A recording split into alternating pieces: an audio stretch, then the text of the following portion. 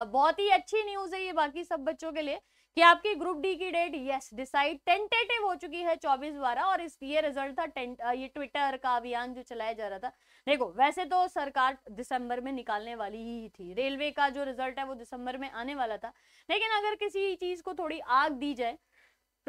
और वो टाइम पे पक जाए तो अच्छी बात है। सो फाइनली ग्रुप डी वाले बच्चों का इंतज़ार जो है वो खत्म हुआ चौबीस बारह दो हज़ार बाईस, है ना? ये आपका